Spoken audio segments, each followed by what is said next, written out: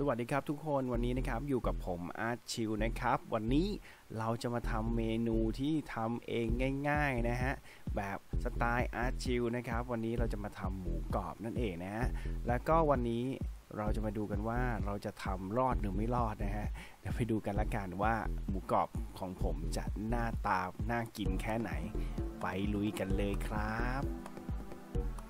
ขั้นแรกเลยนะครับ ก็เอาเนื้อฮะหมู 3 ชั้น เอามาแช่เกลือและน้ำส้มสายชูนะฮะทิ้งไว้ประมาณ 15 นาที หลังจากนั้นก็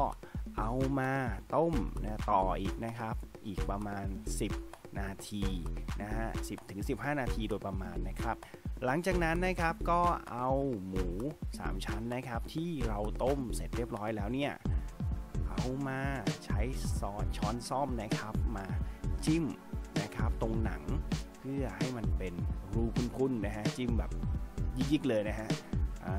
จิ้มไปเยอะๆนะครับ เพื่อจะระบายความร้อนด้วยแล้วก็นะครับทำให้หนังของหมูกรอบของเราเนี่ยมันพองออกมา นะครับ ต่อไปก็การปรุงรสนะครับ หลังจากจิ้มเสร็จแล้วแล้วก็ปรุงรสนะครับ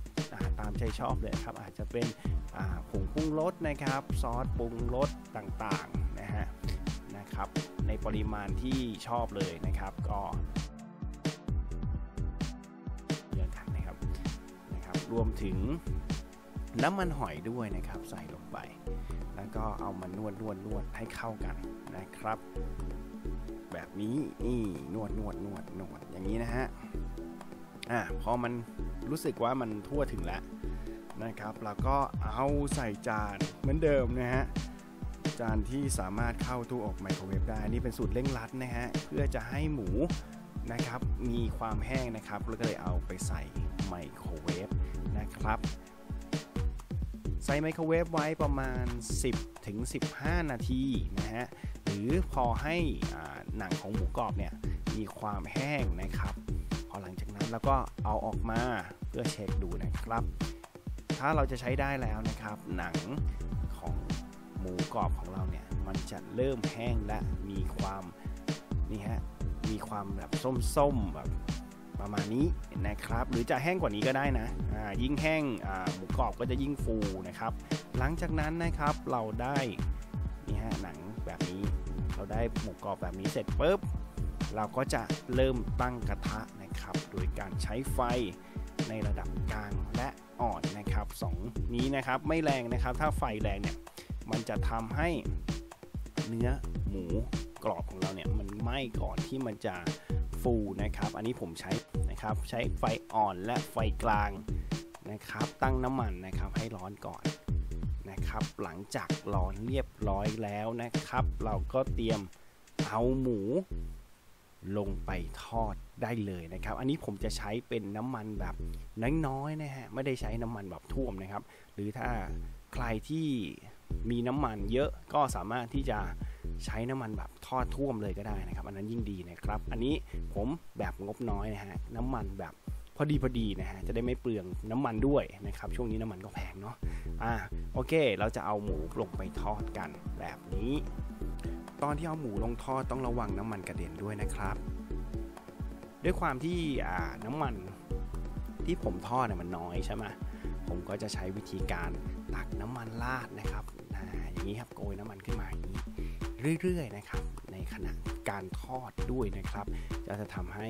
น้ำมันที่เราทอดเนี่ยมันจะทั่วถึงหมูนะครับทำให้หมูกรอบนะครับ แต่อันนี้ผมจะทำแบบสูตรแบบกรอบไม่มากนะครับ แล้วก็เพราะว่ากรอบมากเนี่ยอาจจะทำให้มันมันแข็งเกินไปนะครับ ซึ่งผมชอบแบบกรอบแบบบางๆนะฮะอารมณ์แบบกินแบบพวกเป็ดปักกิ่งอะไรเงี้ยฮะ กรอบๆบางๆแบบนั้นโอเคพอทอดเสร็จแล้วนะครับ เราก็จะหยิบขึ้นมา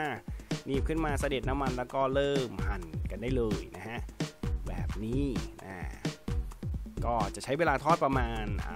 10 นาทีนะฮะหรือจนกว่าที่เราจะดูแล้วเรารู้สึกว่า เอ้ยมันกรอบพอที่เราต้องการแล้วนะครับ แล้วก็เอาขึ้นมาได้เลยนะครับเพราะยังไงหมูก็ต้องสุกอยู่แล้ว เพราะว่ามันต้มมาก่อนเนาะอ่าเรียบร้อยครับ เรียบร้อยเมนูแบบเร่งด่วนนะครับ